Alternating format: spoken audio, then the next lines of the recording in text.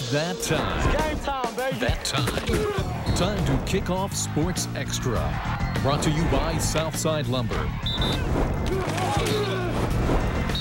Now, News 3's. As promised, now to the night in high school football. We start in Du Quoin where the Harrisburg Bulldogs continued their brutal season opening schedule. After opening last week with Mount Carmel, the Dogs hit the road tonight to take on the Indians. We head to Van Meter Field. First quarter, Du Quoin quarterback A.J. Hill is going to dump the pass off to David Rose, and he takes it 18 yards for the touchdown. Indians up 7 0 early. Now to quarter number two. Harrisburg's Reed Roper back to punt, and it is going to be blocked. Rolls all the way to the end zone. Dalton Morgan can't hold on to it. It rolls out of play, resulting into the safety. Now 9 0. But as soon as the Indians got the ball back, they capitalized. Hill finds Morgan, and he holds on to this one, and he's going to go all the way in for the 50 yard TD. Indians all over Harrisburg tonight, 43 7, the final. In Metropolis, Fairfield visiting Massac County. We're in the second quarter. Fairfield's Cody Greifsue, the one yard touchdown. The Mules on top, 7 0. Massac coming right back. Zach Kester. He goes to Matt Lagore. Big game for Lagore here. The touchdown. We are tied at seven. Massac gets it back. It's Kester again to number 88. And the little guy, he's got a lot of room ahead of him. Is he going to take it all the way? No, he is dragged down at about the 15 yard line. Massac in business, but Fairfield steps up. They get to Kester on the blitz. Tim Moore gets him, killing the drive right before the half. 7 7 at the break. Third quarter, Fairfield driving, but it's a fumble, and the Patriots pounce on it. They are back in business. A couple plays later, it is Lagore again. Another touchdown for Matt Lagore, and the Patriots go on and beat Fairfield tonight, 27 to 14.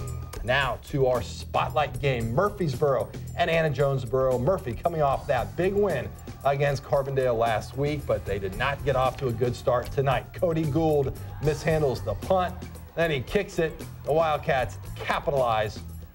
After that miscue, it is Rick Hicks, and the big man takes it 30 yards for the touchdown. Anna on top. The Wildcats getting it done on special teams as well. Sully Edwards scoops up the ball for the touchdown. It is 12 zip Wildcats now. Some defense. Adam Kelly with the nice pop right there.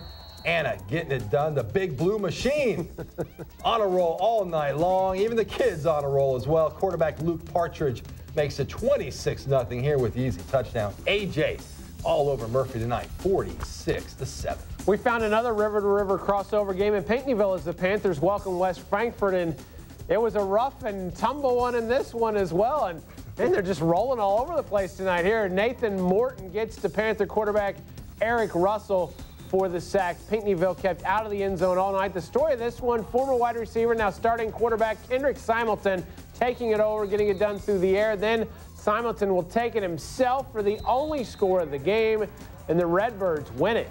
7 0 your final. Same theme in Benton as the Rangers rolled out the welcome mats for Sparta. First quarter, Quincy Hamilton on fourth and goal from the 11. He finds Trevor Myers, and Myers takes it in. The two point conversion was good. Rangers up 21 0. Second quarter now. Tim Korn on the run on the punt return, and he's going to pick up a few blocks, 32 yards, and Benton was in business. A few plays later, Travis Crawford will take it in from four yards out. Rangers up 28 0 at that point. Sparta would get on the board before the half. Blake Shelton to Cody Klein for the touchdown. 28 6 Rangers at the break, and they cruise to a big win. 49 12, the final. Let's go to the Black Diamond, Hamilton County, visiting Cesar Valier. Red Devils' Gavin Bassett is going to make the catch, but then it's a fumble, and it is picked up by Hamilton County's Justin Webb. Hamco is in business. It's Kane Smith on the receiving end of that 25 yard pass. Next play is Brandon Biggerstaff fighting his way to the six yard line. Then it's Adam Irvin to Webb in the end zone.